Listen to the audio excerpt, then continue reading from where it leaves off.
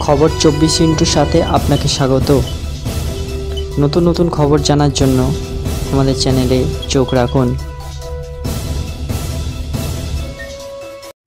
খবর চব্বিশ ইন্টুর সাথে আপনাদের স্বাগত হ্যাঁ। কেন্দ্রের শিক্ষা প্রকল্প থেকে বঞ্চিত বাংলা। অভিযোগ, কেন্দ্রীয় শিক্ষা প্রতিমন্ত্রী সুভাষ সরকারের।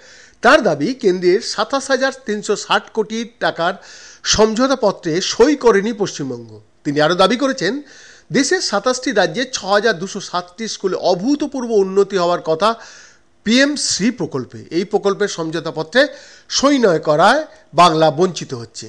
বাঁকুড়া এবং পুরুলিয়া কেন্দ্রের প্রতিনিধি দল এ রাজ্যের শিক্ষা ব্যবস্থার বিভিন্ন বিষয়ে ক্ষতি দেখছে। রাজ্য সরকারের সঙ্গে হাতে হাত মিলিয়ে কাজ করার জন্য এসেছিল তারা।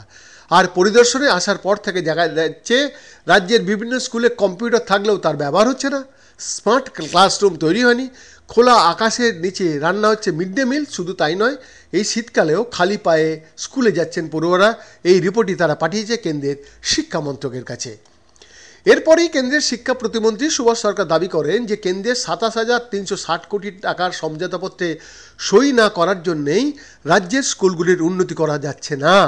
যার জন্য বঞ্চিত হচ্ছেন বাংলার পড়ুয়ারা। এমনকি কেন্দ্রীয় শিক্ষামন্ত্রী ধর্মেন্দ্র প্রধান, রাজ্যের শিক্ষামন্ত্রী বার্ত বসুকে চিঠি দিয়েছেন। কেন্দ্রীয় শিক্ষা প্রতিমন্ত্রী সুভাষ সরকার নিজে বার্ত বসুকে মেসেজ করেছেন। তারপরেও কিন্তু এই প্রকল্প কার্যকরী করা যাচ্ছে না। সুভাষ সরকারের কথায়, এ বিষয়ে মুখ্যমন্ত্রী মমতা বন্দ্যোপাধ্যায়কে জুন মাসে চিঠি পাঠিয়েছেন ধর্মেন্দ্র প্রধান। আমি আগস্ট মাসেও চিঠি দিয়েছি বার্ত বসুকে, জানি না। এর সমাধান কি? শুধু চাইব এ রাজ্য যেন হাজার কোটি টাকার সুবিধা থেকে বঞ্চিত না হয়। সুভাষ সরকারের আরও দাবি বার্ত বসু মনে মনে চাইলেও তিনি হয়তো সর্বোচ্চ স্তর থেকে অনুমোদন পাচ্ছেন না, সেই কারণেই এই প্রকল্পের বাস্তবায়ন সম্ভব হচ্ছে না। যদিও শিক্ষামন্ত্রী বার্ত বসু পরিষ্কার টুইট করে জানিয়ে দিয়েছেন, কেন্দ্রের এই রিপোর্ট এবং এই বক্তব্য সম্পূর্ণ গৈরিকীকরণের প্রভাব। ফলত পরিষ্কারভাবেই বলা যায়, পিএম পিএমশ্রী প্রকল্পকে কেন্দ্র করে ফের কেন্দ্র ও রাজ্যের দ্বন্দ্বের আবারও গণ্ডগোল শুরু হয়ে গেল বলে। বৈদ্যনাথ দাসের রিপোর্ট, খবর চব্বিশ সাত।